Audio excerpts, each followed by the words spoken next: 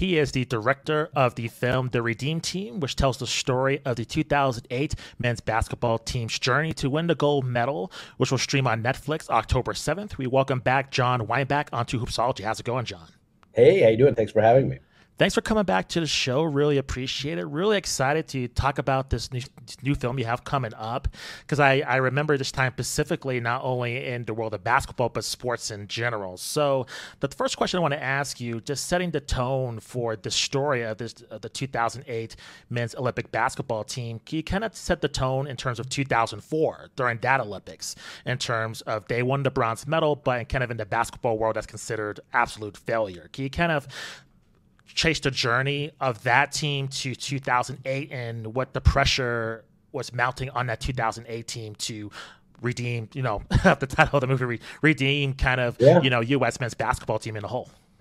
Well, look, I think you can go even further back. I mean, the, the reality is, is when you play basketball for the United States on the international stage, you're expected not just to win, to be perfect.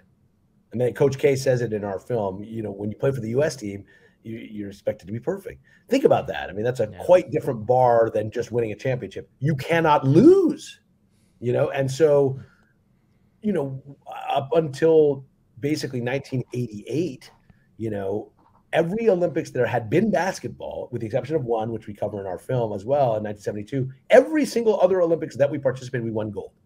And then in 88, it changed. The Soviets beat a team of college players, and that was the first sort of awakening. And then we sent, you know, then became the era of the dream team and send me NBA players, and we dominated. And then by 2000, really two was the first other big wake up call, which we actually don't follow in the film, but we finished, the United States finished seventh at the World mm-hmm. Championships, lost to wow. Argentina, lost to Yugoslavia, yeah. lost to Spain. Um, and so it was like, okay, we got to get our act together for 2004, but we didn't really change anything. And I think some, some, some elements in the world changed, not just in basketball, but it was a sort of an uncertain time for the United States in the world. Had yeah. launched these wars in Iraq and Afghanistan. There was a sense that we were sort of an unwelcome guest in the world. And there was fears of terrorism and and sort of the bloom was off the rose to play for the United States. I mean, if you can only if, if all you can do is be blamed for not winning enough, that's not very it's not very appealing thing to play for. So that leads into 04 and we to put it mildly get our asses kicked in 04 and so that created this whole, you know, wake up call to we have to re-examine the, not just the the the way the team plays, but maybe the culture of Team USA basketball. And so that was when Coach K was brought in. That was when Jerry Colangelo assumed control of the national team program, and it became a program, not just a group of guys brought together for a couple weeks before the Olympics and roll the balls out and win a gold medal. And so all of that context the history of U.S. basketball on the international stage, the, speci- the specificity of what America was going through at that time, the specificity of the challenges to American basketball internationally, playing playing a role in hey, what are they redeeming? It's not just that they had uh, they lost and they had to win again. It was all of those elements, and then add to that sort of specific arcs for the guys on that team, whether it was LeBron, whether it was Dwyane Wade, whether it was Kobe, whether it was Carmelo, Coach K, Colangelo, even Doug Collins, yeah. you know, comes around. You brought up Kobe, and I think one of the more, more, profound things about the film is Kobe's influence on that team in so many levels.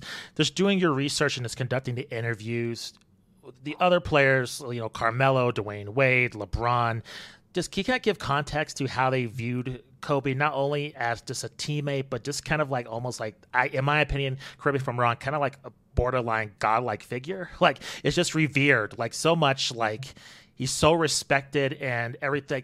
I think there's a scene in terms of when they're playing Spain and the, the first play of the game is, you know, Kobe running through Pau Gasol, like destroying him. Um, and the other players being like, man, I didn't know he was going to do that. And LeBron saying, man, we're going to destroy Spain now. Just seeing that play. Just, the respect level is different with Kobe than anybody else on that team. He kind of sits at the stage of like what, what that was like, you know, doing your research in terms of Kobe's influence? Yeah, I mean, you have to also remember the time period we're talking about, right? Yeah. So all of those guys, it was a primary, uh, uh, predominantly very young team, yeah. right? So you know, LeBron, Dwyane Wade, and Carmelo all are in the same draft class. Chris Paul's a little bit younger. Chris Bosh, I think, might also be that same class or a little bit younger.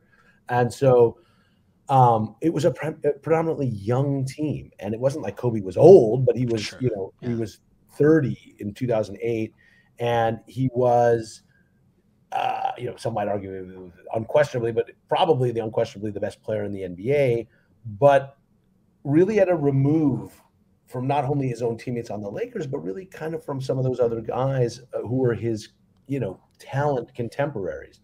And um, so when they when the decision was made to bring him in, you know, it was a huge thing in terms of hey, could this work?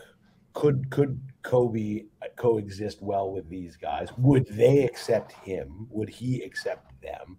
The answer obviously was a resounding yes but but it's a kind of a fascinating portrait in team building and ego management and how do you create a shared agenda for people who may not have one and um and i think you know godlike figure certainly big brother yeah, certainly taskmaster certainly team captain. I think all of those uh, labels apply.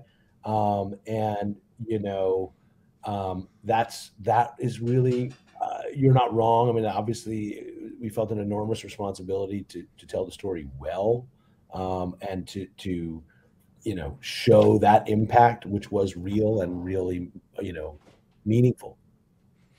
And just want to ask you just with conducting your interviews I, I noticed after that 2008 Olympics, just the work ethic of a lot of those players, I think they said like their work ethic changed after seeing Kobe.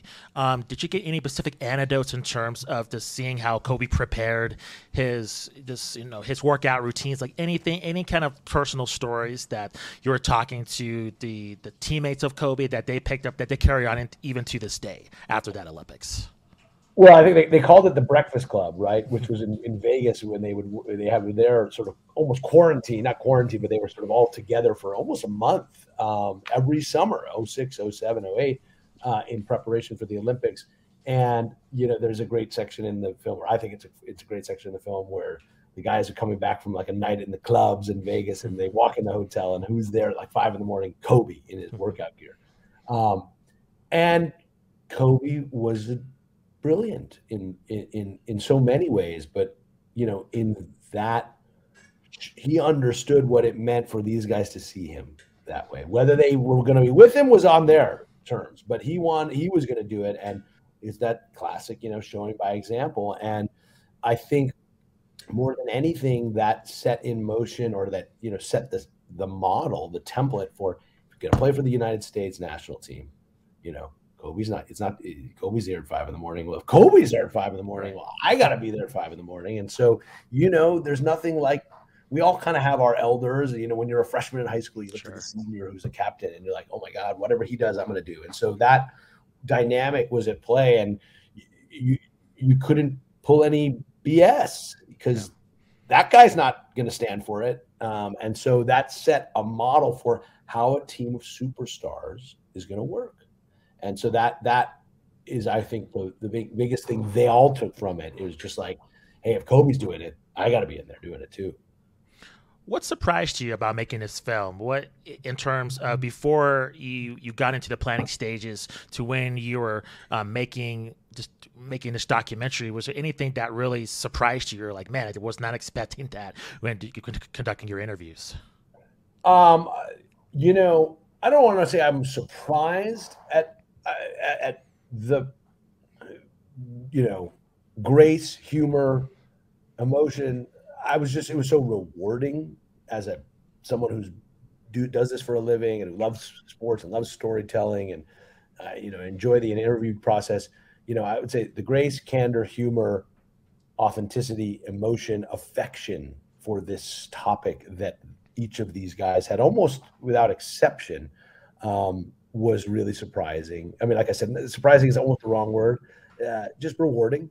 I think on the surprising thing is just some of the footage discoveries. I mean, some of these elements had been, I, some of the elements had never before seen, but some have been seen but overlooked and sort of only available if you hunt and pecked on YouTube. And I think getting some of the raw footage of Coach K was a real joyful surprise because you know he can be profane, he can be funny, he can be self-deprecating, um, and you don't always you know get that because Coach K is you know this icon of, of, he's like the modern day not like he's the modern day you know John Wooden. Sure. Um, and you know I would say on his interview um, the doubts that he expressed about his own ability wow.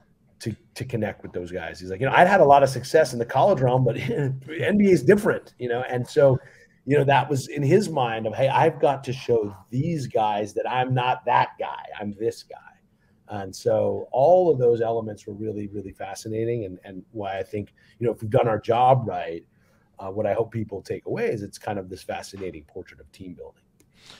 To that point with Coach K, do you know what steps he took when you know meeting his, you know his team for the first time? You just mentioned his apprehension. Was there any kind of additional preparation that he took to kind of create that that bond between him and you know his team, so to speak. I think all those guys, I mean, they have such a huge respect for Coach K even before they got on the team, but still, you know, there's a melding of personalities that has to take place. So did Coach K um, kind of take any unusual steps that he wouldn't take normally at Duke to kind of, you know, increase that camaraderie, so to speak? I can't speak to what he did differently from what he does at Duke or did at Duke, but sure. um, I think, you know, it would have been, I think, a very different dynamic if Coach K had been the coach of the dream team. Sure. Because – the dream team players, I don't know that that would have worked with them because they are all came of age at a time before they knew Coach K as Coach K. All of the guys, remember, Kobe had been recruited by Coach K. Yeah. And so he was going to go to Duke had he not gone pro. So all of the guys on the Redeem team, they knew Coach K as the champion, as this guy. So in a certain kind of way, he was Switzerland you know, he wasn't an NBA coach who might have an agenda and didn't like a guy because of a playoff series. So he, he could operate clean in that kind of way. But, you know, I think he's a winner for a reason, you know, a master motivator. And I think that he's he is who he is. You know, he's a child of immigrants. He's a guy who went to West Point and he served in the military, you know, he, and and and played point guard for the army, you know, and so when it could easily come off as super cheesy and false, bringing in army guys, yeah. you know, who there's maybe no organic connection to the players, but it's Coach K, and and and he he lived that, and he knew those guys, and so and and you know when it comes to patriotism, you know that that was a real thing for him. This was a, like I said, you know, I think either child or grandchild of immigrants and um, you know his name is his name. People don't know how to pronounce his name. It's a very kind of uniquely american experience. And so um, all of those things i think worked.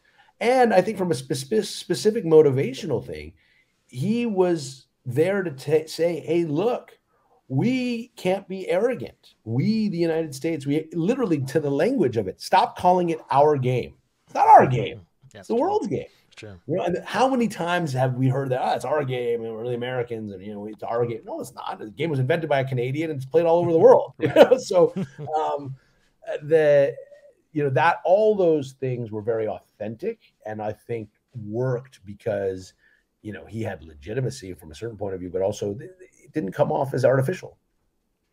Um, I want to ask you about uh, LeBron, Dwyane Wade, and Chris Bosh, and um, it was it's been widely known that the Redeem team has been one of the catalysts in terms of the uh, Big Three forming in Miami.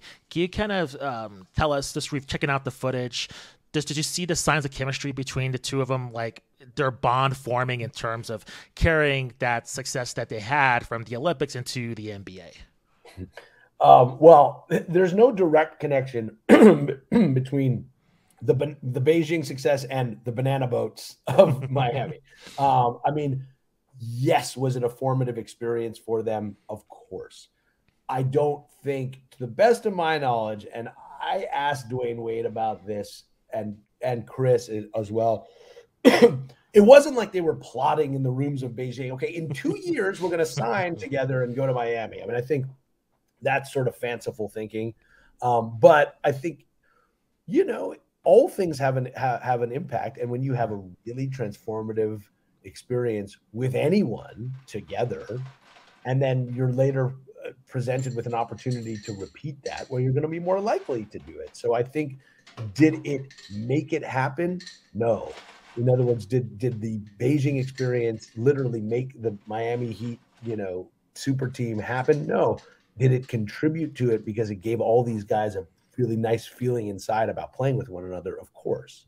But I don't think there was, yeah. they were not plotting in Beijing to re up with Miami in two years.